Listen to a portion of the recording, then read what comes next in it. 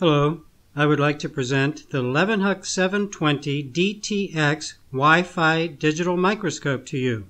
This model has a solid table to which I can fasten the digital microscope. The table is adjustable and therefore I can control the distance of the microscope from the observed object. Simply connect the microscope via USB to a computer where the real picture of the observed object displays. I can view these objects or record a video sequence. Then I can save it to the PC and work with the files later.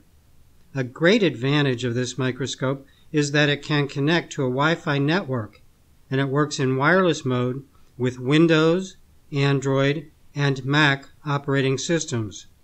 It is equipped with LED illumination and offers 200x magnification. This microscope is supplied with a charger since it is powered by a built-in battery.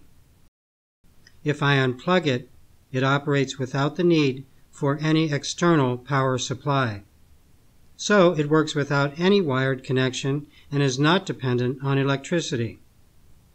Under the microscope, you can observe objects that fit under the table. The height is sufficient.